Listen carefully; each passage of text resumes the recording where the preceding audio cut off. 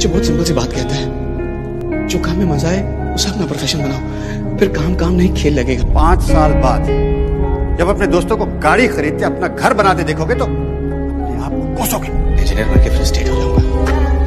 फिर ज़िंदगी भर आपको कोसूं बेहतर यही ना कि मैं अपने आप को कोसूं अरे हंसेंगे लोग। कहेंगे कि फाइनल ईयर में आके छोड़ दिया। वो अपने कपूर साहब कह रहे थे कि खुशकिस्मत हो कि तुम्हारा बेटा आईसीई में पढ़ता है। वो क्या सोचेंगे? आप क्या सोचेंगे? फ़र्क पड़ता है। कपूर साहब क्या सोचेंगे? इससे मुझे कोई फ़र्क नहीं पड़ता। क्या होगा? कम पैसे कमाऊँगा ना? घर छोटा होगा, गाड़ी छोटी होगी। और अब्बा मैं खुश रहूँगा। I will be really happy आपके लिए जो भी करूँगा, दिल से करूँगा। आज तक मैंने आपकी हर बात सुनी है। आज बस एक बार मुझे अपने दिल की बात सुनने दीजिए ना। प्लीज़ अम्मा।